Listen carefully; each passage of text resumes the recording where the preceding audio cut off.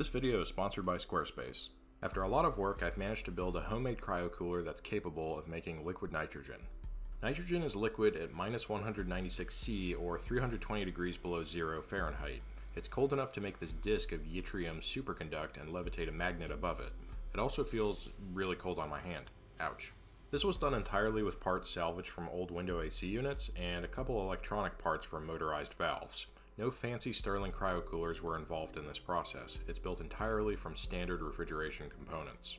This is the same machine I used in my previous video for producing liquid methane, but with a few changes.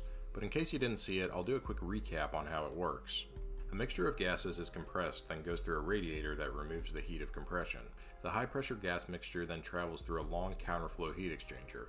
At the bottom of the heat exchanger, a very small diameter capillary tube throttles the flow and the gas expands and drops pressure as it comes out of the other side of the tube. As this happens, the temperature drops. Not by a huge amount, mind you, maybe 20 or 30 degrees C, depending on what gas mixture it's made of. This is called the Joule-Thomson effect. The cold low pressure gas rushes back up the counterflow heat exchanger which cools down the incoming high pressure gas. By the time it exits the heat exchanger, it's at the same temperature as the incoming gas, or at least within a few degrees. The low pressure gas then returns to the compressor and the cycle repeats. This process creates a positive feedback loop that drives the cold end of the heat exchanger down to a way lower temperature than the initial 20 to 30 degree drop that it caused. The lowest I've managed to get so far is minus 180 C. The high pressure side of the loop is about 400 psi or 28 bar in this case. The gas mixture is a combination of propane, ethylene, methane, argon, and nitrogen. However, I've managed to get extremely low temperatures with just argon and propane, although it's not as efficient. The cold low pressure gas goes through a tube inside a tank which is fed with high pressure nitrogen from a separate compressor. Once the system gets down to around minus 150 C, high pressure nitrogen can begin condensing. This typically occurs between 400 to 450 psi gauge or around 28 to 30 bar absolute. Once the tank is full of liquid nitrogen, it's discharged through a motorized needle valve into a small dewar or thermos. A portion of the liquid is lost to evaporation in this process because it's above the 1 atmosphere boiling point. For more power and efficiency, a separate vapor compression cycle is used to pre-cool the gas to around minus 25 to minus 30 C before it goes into the counterflow heat exchanger. The system will work without this, but it provides a tremendous boost. The compressors used in the process are taken from window AC units. The main cycle compressor came from a 12,000 BTU unit meant for R22 refrigerant, and the other two came from 5,000 BTU units meant for R410 refrigerant the main stage and the feed gas loop, there's also oil separators with motorized valves on timers connected between the oil sumps and the return lines. As you can probably guess, oil doesn't move so well at cryogenic temperatures, so it has to be separated out. As for the plumbing, it's all just copper tubing I got from the hardware store, which is either brazed together with copper phosphor rods or connected by quarter inch 45 degree flare fittings. The only exception to that is the stainless steel to copper connections on the oil separators, which are brazed using SSF6, which is a type of silver solder alloy. Okay, so picking up where I left off in my last video, I had a pretty scary explosion that happened when the liquid methane holding tank blew up. Well, technically it ruptured because it didn't fragment and throw shrapnel everywhere, but it did tear open at the braze joint. So I rebuilt the tank and actually used proper end caps this time. This is just a 2.5 inch copper pipe with a coil of quarter inch tubing going through it to transfer the cooling from the refrigeration loop to the liquid inside. There's also a line for feed gas to come in and a siphon tube for pressurized liquid to exit. And this time I actually hydro tested the tank before installing it, and fortunately it didn't blow up, although the previously flat end caps were bowed a little bit after being under 400 psi. So I braced everything back up to the counterflow heat exchanger for the refrigeration loop and submerged it in water while it was pressurized to find some leaks, which it had. After resolving those leaks by reflowing my brazed joints, I wrapped the tank and the heat exchanger tubing in a ton of foam and then placed the whole assembly in a thick foam box stuffed with fiberglass wool. Problem is, with the big tank, the system never got below around minus 68 C because the thermal inertia of all that copper was too much and or it wasn't insulated well enough and was causing a ton of losses. So I stuck a much smaller tank on there using a 1 inch pipe instead of a 2.5 inch one. I also tried using expanding foam as insulation instead of fiberglass wool, but as you can see here, it had a bunch of air pockets inside. It also only got down to minus 153 C, which kinda sucks. So I busted up the expanding foam and wrapped the heat exchanger tubing with rubber foam and stuffed the whole thing with fiberglass wool. Now that got me down to minus 172C, and I started feeding in nitrogen a little over 450 psi. Now just as a side note, I am using nitrogen from a tank for testing purposes, but in a future video I'll show how to make it from air. However, the gauge on my high pressure regulator was unreliable, so I transferred the nitrogen to a 10 gallon air tank to make it easier to keep track of how much gas I had used when I fed it into the cryocooler. Assuming the nitrogen at room temperature is an ideal gas, this makes it very easy to keep track of the mass being liquefied based on the pressure of the tank. So after pumping about 100 grams of nitrogen gas, I opened up the discharge valve to collect my liquid. And that's it. That's all I got. Probably less than 5 cc's there. And here's attempt number 2. Looked like there might have been one or two drops there. Okay, so technically I made some liquid nitrogen there, but eh, pretty useless overall. But you know what's not useless? Having a website for your business. Unless you're living in an uncontacted tribe in Papua New Guinea, you're going to need this series of tubes, known as the internet, to do business, and Squarespace has all the tools you need to do that.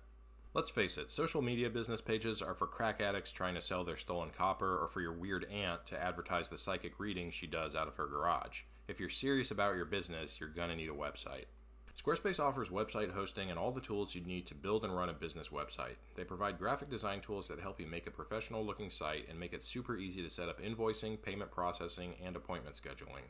You can also use it to run ads for your business on social media sites, and it provides all the important analytics for website traffic and sales data, as well as inventory and shipping management, and all that other really fancy business stuff that super important people wearing suits do. Go to squarespace.com for a free trial, and if you want to launch a website, go to squarespace.com slash hyperspacepirate to save 10% on your first purchase of a website or domain. So anyway, after this letdown, I tried several other approaches to improve my yield. Since I was losing almost all of my liquid to evaporation, I figured maybe I should have a sealed thermos attached to some sort of regenerative heat exchanger to recover all that energy that I was losing and then using it to pre-cool the incoming nitrogen. Seemed good in theory, but it didn't really work out. I also tried reconfiguring my cryocooler as a pre-cooler for a pure nitrogen Joule-Thomson cycle. In theory, if I pre-cooled a 30 bar nitrogen stream to around minus 100 C, it would be thermodynamically equivalent to a Joule-Thomson cycle with a 300 bar pressure at room temperature. And so I built yet another counterflow heat exchanger and insulation for it. And that didn't really work out either. Now it did seem like I might have some success with this really tiny counterflow heat exchanger that I put inside a thermos, I managed to get it down to minus 150C with pure nitrogen, which was pre-cooled to minus 75C, and it seemed to be steadily dropping past that, but then I killed the nitrogen compressor from overheating. This approach may have actually had some merit, so I'll probably revisit this in the future. But anyway, my schemes to improve yield seemed to cause more problems than they solved, so I returned to my original plan of using a high pressure liquid tank. The difference was that this time I'd control the discharge from an electronic expansion valve and it would be placed directly underneath the tank. The needle valve I was previously using for liquid discharge would leak when I got it really cold because the Teflon seals would shrink. The electronic expansion valve was all metal, so it didn't have that problem. Also, I think having several feet of tubing going out of the insulated box was causing huge losses even with all the insulation that I put around it. And so I built, wait for it, yet another liquid tank, this time with a 2 inch pipe instead of a 2.5 inch one. Hopefully this would be small enough that it wouldn't have excessive thermal inertia, but large enough to have a decent storage capacity for liquid. Looks like it's got at least 320 cc's, or at least that's what I dumped out of it. It also doesn't explode, so that's a plus. So I installed the tank the same way I did the other two I showed earlier, and while I was at it, I built a movable bench to put all this equipment on to keep things more organized. The main compressor and pre-cooler are on the top and the nitrogen feed compressor is on the bottom. I also raised up the cold box so I could fit a thermos underneath it to collect the liquid nitrogen instead of running long tubes out of the insulation that would cause a lot of losses. Later I'll use this 3 liter Dewar for that purpose. After about an hour of runtime, I got down to minus 177C and then went about pumping in nitrogen gas to liquefy it. I originally set up this rotary compressor in a cooling water bath to feed nitrogen, but it died pretty quickly even though it wasn't overheating. I think it may have been an oiling issue. So I switched back to this little fridge compressor that I've been using for gas transfer since I started this project. I take nitrogen in from my 10 gallon tank and pump up the cold tank in the cryo cooler until it's at about 450 psi, which is pretty much right at the critical point for nitrogen. Now there's no reason I couldn't go beyond the critical point of nitrogen, but pushing the compressor past 500 psi would probably damage it. Then I shut off the compressor and give the liquid several minutes to cool until the pressure drops to around 250 psi. then I start pumping again. I think the compressor runs less than 30% duty cycle in this case. I repeat this process several times until my 10 gallon tank goes from 120 psi to about 30 psi. This should be the mass of nitrogen required to completely fill the cold tank as liquid, which is around 260 grams. I short the terminals on my board to trigger the valve controller to open. I need to get around to wiring up a button for that. And there it goes, we've got some liquid coming out. The K-type thermocouple output gets a little fuzzy at this temperature, and it'll read between minus 194 to minus 196, but yeah, we've definitely got liquid nitrogen now. My thermos weighs 562 grams versus 454 when it's empty, so I've made 108 grams. When I dump it into a little plastic cup on a scale, you can see how quickly it loses mass to evaporation without any insulation.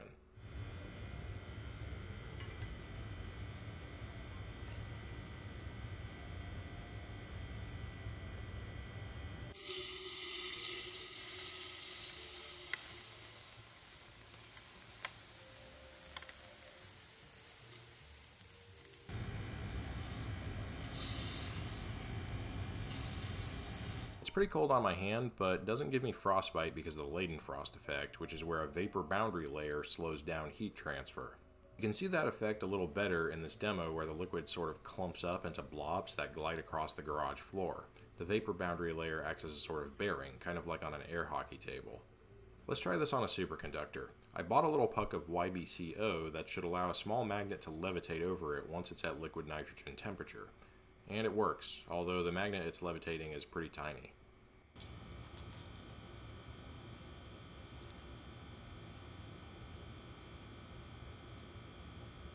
I tried to float the YBCO itself over a big magnet, and it floated for a second or two before it warmed up and lost superconductivity. Now, minus 196C isn't cold enough to make copper superconduct, but it should theoretically drop its resistance to about 10% that of room temperature. Let's try cooling this little electromagnet. At room temperature, it's 26.5 ohms, but when I dunk it in the liquid nitrogen, you can see the resistance start to drop. It only went down to around 7.5 ohms, but I was expecting 2.5. I guess I didn't have enough liquid left. Anyway, that's still a major change, and the metal shell was actually cold enough to leave little freeze burns on my fingers when I pinched it. It stayed cold for quite a while, too. Here's the magnet after about 15 minutes. Let's try freezing this orange.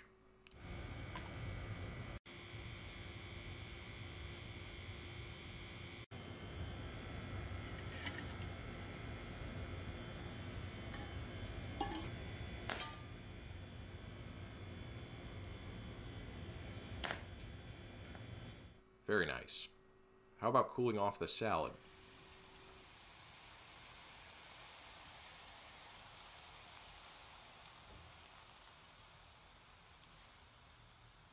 Oh yeah, by the way, you can actually liquefy argon with this cryocooler too, which is actually easier because it has a boiling point that's 10 degrees higher than nitrogen, minus 186. Okay, so that's how I did a year and a half of engineering to produce a liquid that can make little magnets float or ruin food for fun. The whole system consumes about 1400 watts and produces around 130 cc per hour of liquid nitrogen, which is not great, but the energy only cost me a buck 29 per liter, whereas the gas supply place in town charges me $5 per liter for liquid nitrogen. Although with a little bit more optimization, I'm pretty sure I can bump that number up to 2 or 300 cc's per hour, which would actually make this a pretty useful machine.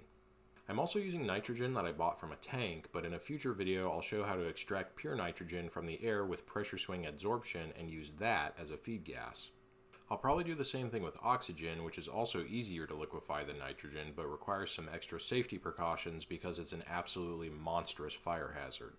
Anyway, thanks for watching, hope you like my thing, bye.